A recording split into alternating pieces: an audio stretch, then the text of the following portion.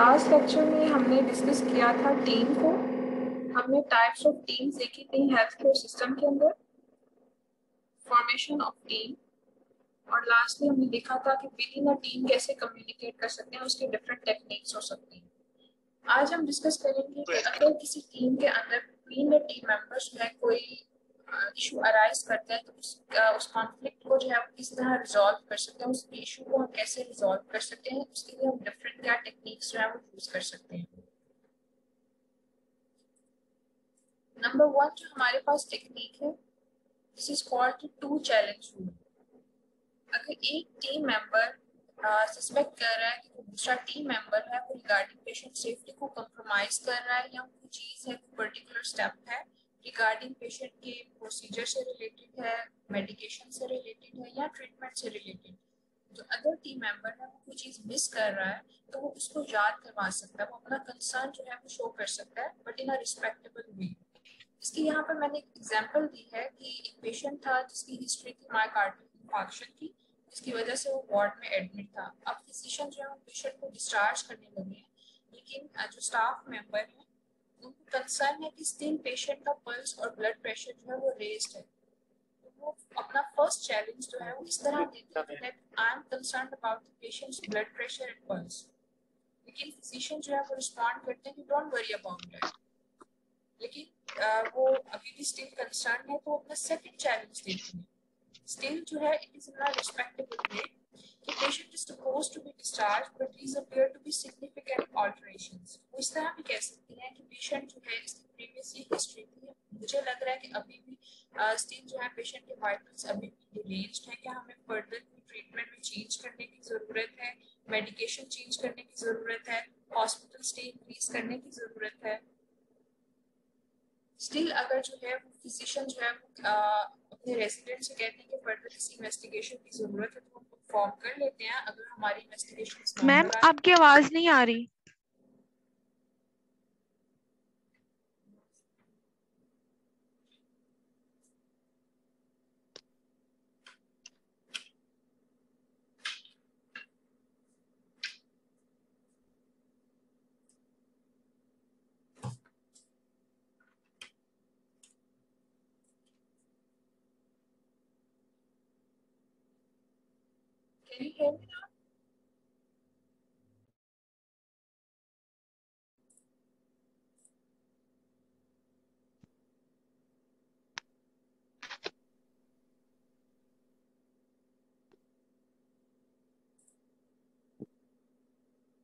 Everyone can hear me?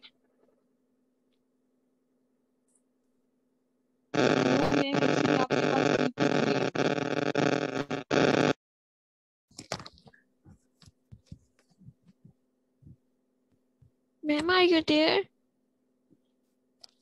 Yeah, here.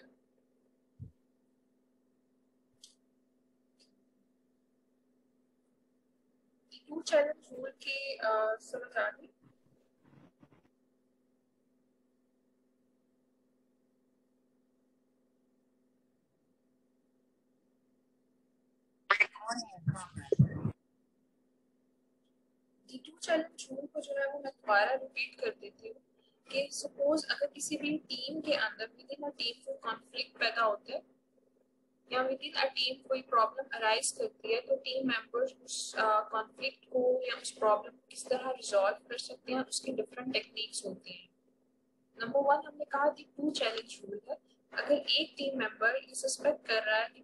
दूसरा team member है, वो पेशेंट की ट्रीटमेंट उसकी मेडिकेशन या प्रोसीजर से रिलेटेड कोई चीज़ मिस कर रहा है, उसको वो जो है चैलेंज कर सकता है बट इन अ रिस्पेक्टेबल वे उसको रिमाइंड करवा सकता है कि शायद वो भूल तो नहीं रहा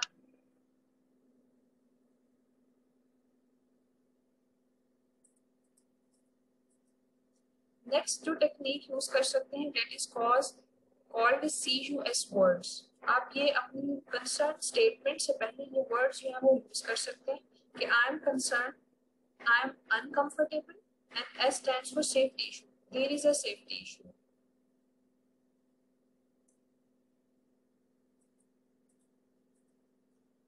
जो थर्ड हमारे पास टेक्निक होती है this is called DESC script उसमें ये है कि डी स्टैंड फॉर डिस्क्राइब आपने उस सिचुएशन को डिस्क्राइब पहले करना ई स्टैंड फॉर एक्सप्रेस आपके क्या कंसर्न हैं? उनको आपने एक्सप्रेस करना एस स्टैंड फॉर सजेशन आपने कोई अपनी कोई सजेशन दें? आपको लगता है कि इसके ऑल्टरनेटिव हम कुछ जा सकते हैं?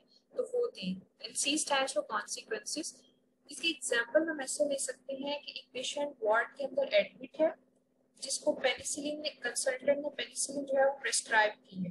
पेशेंट की ड्रग एलर्जी की हिस्ट्री है कि वो एलर्जिक है टू पेनिसिलिन तो रेजिडेंट जो है, वो कंसल्टेंट से उसकी पेशेंट की स्पेसिफिक सिचुएशन को डिस्क्राइब करता है कि इसकी प्रीवियस हिस्ट्री है कि पेशेंट को ड्रग एलर्जी थी फ्रॉम पेनिसिलिन अब रेजिडेंट अपना एक्सप्रेस क्या कंसर्न क्या एक्सप्रेस कर सकता है? कि पेशेंट को अगर हम दोबारा पेनिसिलिन रिपीट करेंगे तो पेशेंट को माइट भी एनाफाइलेक्टिक शॉक में जा सकता है।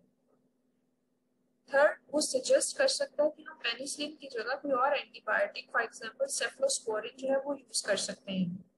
लास्टली कॉन्सिक्वेंस स्टेट कर सकता है कि अगर हम पेनिसिलिन पर ही रहेंगे तो नंबर वन पेशेंट को ड्रग एलर्जी होगी एंड नंबर टू पेशेंट को जो है ट्रीटमेंट फेलियर होगा। हमारा पर्पज भी सक्सेसफुल नहीं होगा। और अगर हम सेफ्लोस्पोरिन यूज़ करते हैं तो हम ट्रीटमेंट फेलियर से बच जाएँगे और ड्रग एलर्जी से बच जाएँगे।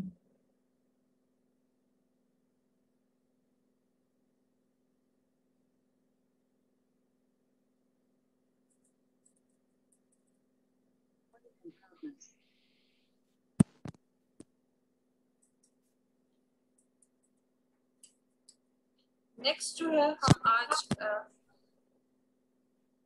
एरर्स uh, को डिस्कस करेंगे। फ़र्स्ट लेक्चर के अंदर हमने डिफरेंस देखा था कि एरर और वायलेशन में डिफरेंस क्या है। एरर बेसिकली मिस्टेक होती है लेकिन आपकी इंटेंशन जो है वो राइट right थी but you did it wrong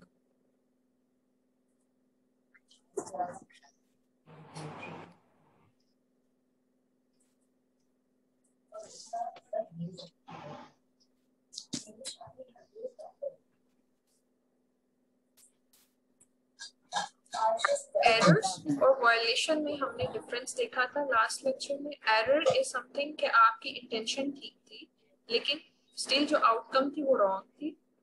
violation में ये होता है कि आप डेलिबरेटली कुछ चीज़ को रॉन्ग करते हैं। एरर की बेसिकली आगे से टू टाइप्स होते हैं। One is skill based errors हो सकते हैं। दूसरी होती है मिस्टेक्स होती है।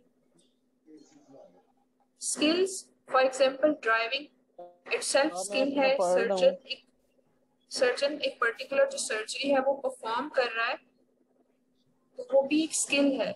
अगर उस स्किल को करते हुए उसको परफॉर्म करते हुए कोई एरर होता है तो this is a skill based error उसकी दो टाइप्स है। वन इसके लैब्स है या स्लिप है।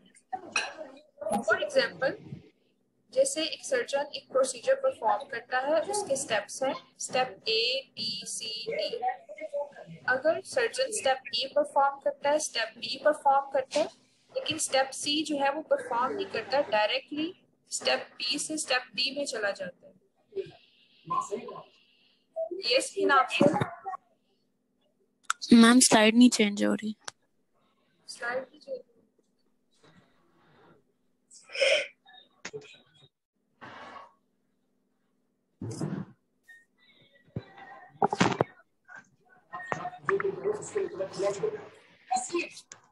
हमारा जो आपको एक्सप्लेन कर रही थी, हमने एरर्स और वायलेशन का डिफरेंस देखा था फ़र्स्ट लेक्चर के अंदर। एरर्स में आपकी जो इंटेंशन होती है वो राइट होती है, लेकिन आउटकम जो होती है वो रॉन्ग होती है। वायलेशन के अंदर इंटेंशन रॉन्ग होती है। आप डेलिबरेटली कोई चीज़ रॉन्ग करते हैं। एरर्स की हमने कहा, आगे दो टाइप्स होती है। One is a skill based error या मिस्टेक्स होती है। स्किल्स की मैंने एग्जांपल दी कि ड्राइविंग इटसेल्फ स्किल है एक सर्जन जो एक सर्जरीज परफॉर्म कर रहा है तो जो प्रोसीजर्स होते हैं उसका स्किल है। फॉर एग्जांपल सर्जन एक प्रोसीजर परफॉर्म करता है। पता लग गया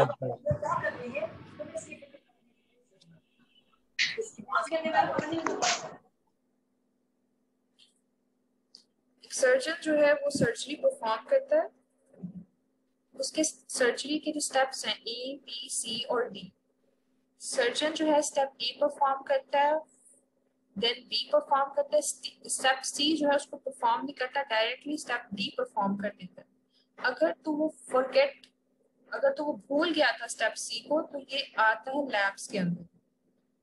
अगर सर्जन जो है, उसको याद था स्टेप सी याद था, लेकिन ही वॉज़ इन अ हरी उसने स्टेप बी के बाद जो है डायरेक्ट स्टेप डी को फॉर्म कर दिया। This will be called as slip on the other hand जो मिस्टेक्स होती है, वो बेसिकली होती है कि आपने डिसीज़न रॉन्ग ली थी नंबर वन उसकी टू कॉजेज हो सकती है या उसकी टाइप्स हो सकती हैं। वन इज़ रूल बेस्ड है या नॉलेज बेस्ड है। फॉर एग्ज़ाम्पल आपने एक पर्टिकुलर डिसीज़न ली है। आपका उसके बारे में उस पर्टिकुलर सिचुएशन के बारे में नॉलेज ही रॉन्ग था, इसलिए आपने रॉन्ग नॉलेज अप्लाई किया था। This resulted in the mistake secondly आप एक पर्टिकुलर सिचुएशन के अंदर आपने रूल ही गलत अप्लाई किया है। आपने उस सिचुएशन को परसीव जो है वो गलत किया है, जिसकी वजह से आपने रूल ही कुछ और अप्लाई कर दिया है। उसकी वजह से जो एरर प्रोड्यूस होता है this is called the rule based mistake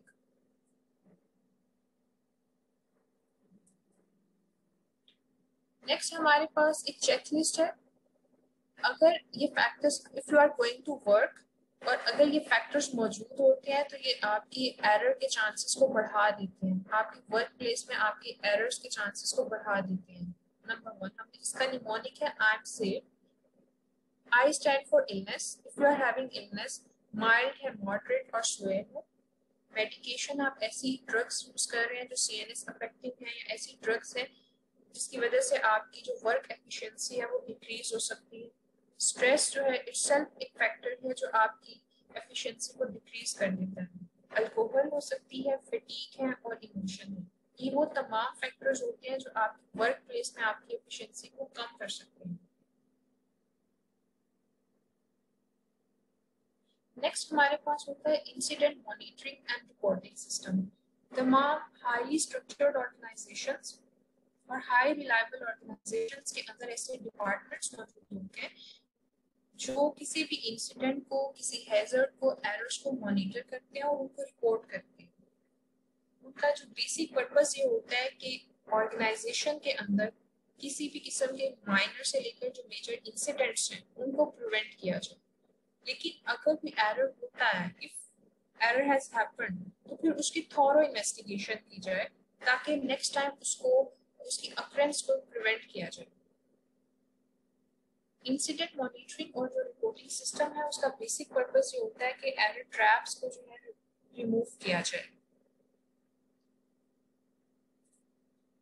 error traps जो होते हैं, वो बेसिकली फ्लॉज होते हैं किसी भी ऑर्गेनाइजेशन के अंदर, जो एक पर्टिकुलर एरर के चांसेस को बढ़ा देते हैं कि वो जो एरर है, वो बार बार रिपीट हो सके। This is called error trap error trap जो है वो फ़िज़िकल हो सकता है लिविंग हो सकता है कोई इन्वायरमेंटल फैक्टर हो सकता है. For example you are working in a very stressful environment you are working in a very hot environment तो ये एक इन्वायरमेंटल फैक्टर है जो बार बार एरर uh, के चांसेस को रिपीट होने एरर uh, के चांसेस को इंक्रीज कर देता है कि एक ही एरर बार बार रिपीट हो इंसिडेंट मॉनिटरिंग और रिपोर्टिंग सिस्टम का जो बेसिक पर्पज होता है, वो ये होता है कि एरर ट्रैप्स को रिमूव किया जाए, उनको आइडेंटिफाई किया जाए और उनको रिमूव किया जाए। जो एरर्स होते हैं, उनको दो तरह से प्रिवेंट कर सकते हैं। Number one before they happen and suppose अगर तो वो हो गए हैं तो उनको रिपीट होने से प्रिवेंट किया जाए। बिफोर इंसिडेंट आप सोच सकते हैं कि फॉर एग्जांपल एक चेन है ये फ्लॉज हो सकते हैं सिस्टम में ये फ्लॉज हो सकते हैं, जिनका एंड रिज़ल्ट जो होता है वो कोई भी हैजर्ड हो सकता है पेशेंट सेफ्टी कंप्रोमाइज हो सकती है। तो आप पहले से ही ऐसे प्रोटेक्टिव मेजर्स ले लेते हैं। This is before the error has happened. Suppose अगर तो error हो गया है इन दैट केस आप रिट्रोस्पेक्टिव जाते हैं कि क्या कॉज हो सकती थी जिसकी वजह से जो है एरर हुआ है, ताकि नेक्स्ट टाइम उसको रिपीट होने से प्रिवेंट किया जाए। नेक्स्ट जो है इंसिडेंट मॉनिटरिंग और रिपोर्टिंग स्ट्रेटजीज होती हैं। नंबर वन आप एनोनिमसली रिपोर्ट करें। किसी भी पर्सन का जो नेम है, उसको पॉइंट आउट ना किया जाए। अगर एक ऑर्गेनाइजेशन के अंदर, एक डिपार्टमेंट के अंदर कोई एरर हुआ है, कोई मिस्टेक हुई है, कोई इंसिडेंट हुआ है तो उसको रिपोर्ट किया जाए। लेकिन उस पर्टिकुलर पर्सन को पॉइंट आउट ना किया जाए। नंबर टू आप टाइमली फीडबैक दें। ताकि लैब्स ना आए। थर्ड थिंग इज़ कि अगर कोई इंसिडेंट को हमने होने से प्रिवेंट किया है, उसकी जो सक्सेसफुलनेस है, उसको सेलिब्रेट किया जाए, उसको एक्नॉलेज किया जाए। रिपोर्टिंग ऑफ़ नियर मिस शामिल है।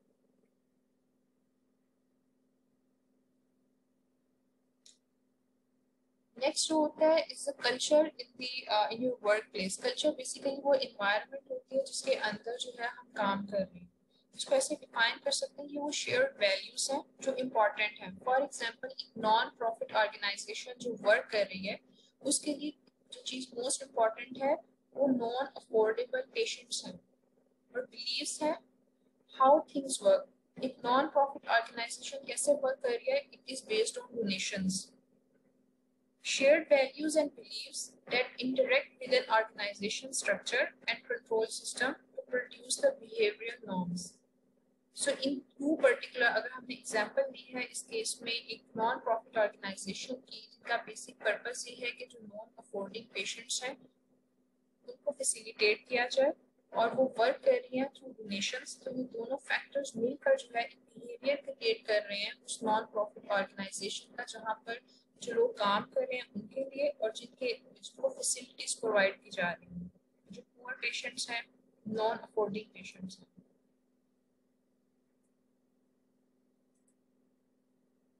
किसी भी टीम के अंदर मौजूद, जो जूनियर पर्सन होता है, उसके लिए उतना ही डिफ़िकल्ट होता है कि किसी भी अगर वो कोई रिजिड इन्वायरमेंट में काम करे तो उसको चेंज कर सके। लेकिन स्टिल जो है, वो छोटे छोटे फैक्टर्स को पॉइंट आउट कर सकता है। उनके अंदर चेंजेस ला सकता है, ताकि उसकी जो वर्क प्लेस है, वहाँ का कल्चर बेहतर हो सके वर्किंग इन्वायरमेंट बेहतर हो सके। Next is cause analysis first lecture के अंदर हमने ये देखा था first first and second lectures के अंदर देखा था कि अगर कोई एरर होता है इफ़ द एरर हैपेंस तो उसको अप्रोच करने के दो मेथड्स थे। वन वाज ओल्ड मेथड था, जो पर्सनल मेथड था। जिसमें पर्सनल अप्रोच थी जिस पर्सन से एरर हुआ था, हमने उसको पॉइंट आउट किया था, उसी को ब्लेम किया था, उसकी करेक्शन थी जो दूसरा मेथड था, वो न्यू मेथड है और उसके अंदर सिस्टमैटिक अप्रोच होती है। उसमें एक पर्टिकुलर पर्सन को पॉइंट आउट नहीं किया जाता, उसके अंदर डेप्थ में जाया जाता है। This is one of the example of the systematic approach which is called root cause analysis root cause analysis के अंदर बेसिकली जब कोई एरर होता है तो हम उसकी थॉरो इन्वेस्टिगेशन करते हैं उसके अंदर तमाम W's और H आ जाते हैं फॉर एग्जांपल कि why the error has happened what has happened, why it has happened, when did it has happened, and how we can do some measures to prevent it to happen again. RC model जो होता है ये errors once error has happened उसको approach करने का new systematic method है और उसके अंदर हम थोरो उस इंसिडेंट की इन्वेस्टिगेशन करते हैं ताकि नेक्स्ट टाइम ऐसे एरर को होने से प्रिवेंट किया जाए।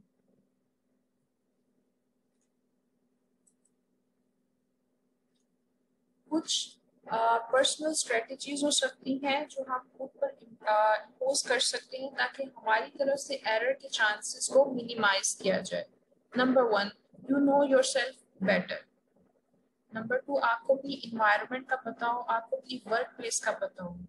Number three is you know your task जो आपको टास्क साइन किया गया है, आप उससे फेमिलियर हो। And you must be prepare for that और उसकी प्लानिंग हो। और लास्टली जो है, वो आपके चेक्स हो इनटू योर रूटीन जैसे हम कोई चेक लिस्ट है, वो ऐड कर सकते हैं। या अपनी जो है सेल्फ असेसमेंट कर सकते हैं। लास्टली अगर आप किसी, आप एक ऐसी इन्वायरमेंट में कहीं पर काम करें you are new to there तो अगर आपको किसी प्रोसीजर का, किसी मेडिकेशन का, किसी ट्रीटमेंट से रिलेटेड किसी चीज़ का नहीं पता है तो ask your seniors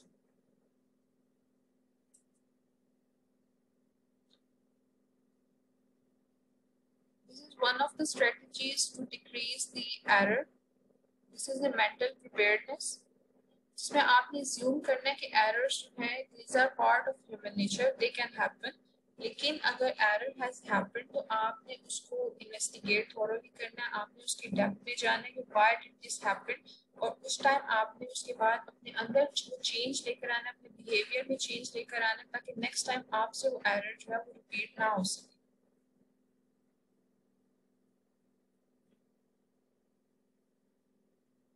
लास्टली जो है कि मेडिकल एरर जो है इट्स अ कॉम्प्लेक्स इशू है। एरर्स जो होते हैं they can happen in any organisation लेकिन अच्छी ऑर्गेनाइजेशन हाई रिलायबल ऑर्गेनाइजेशन जिसमें हमने उनकी क्वालिटीज के अंदर पढ़ा था नंबर वन वो अवॉइड करते हैं कि ऐसी हैपनिंग्स या इंसिडेंट्स हों। लेकिन अगर कोई इंसिडेंट हैपनिंग होती है तो वो उसको थॉरली इन्वेस्टिगेट करते हैं। उसके लिए उनकी सिस्टमैटिक अप्रोच होती है। They have a vision they can use a cause analysis ताकि नेक्स्ट टाइम जो एरर है उसको होने से प्रिवेंट किया जाए this is all for today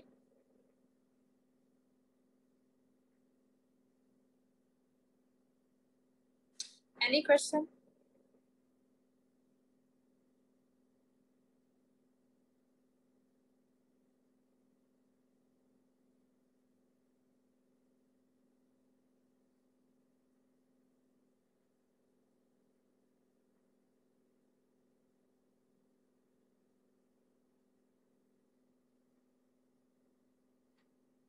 Everyone can hear me? Yes, ma'am. Yes, ma'am. Okay, any question? No, ma'am. Okay.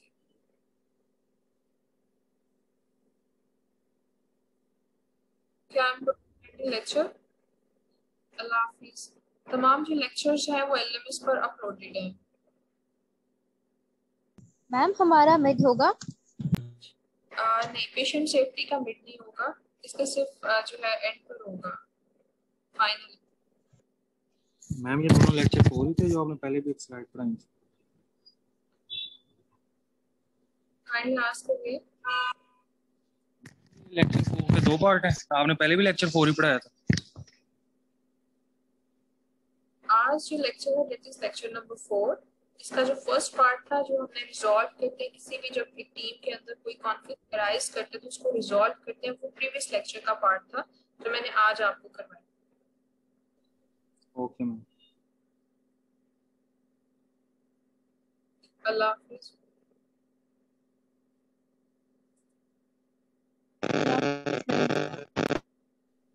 Allah Hafiz, ma'am.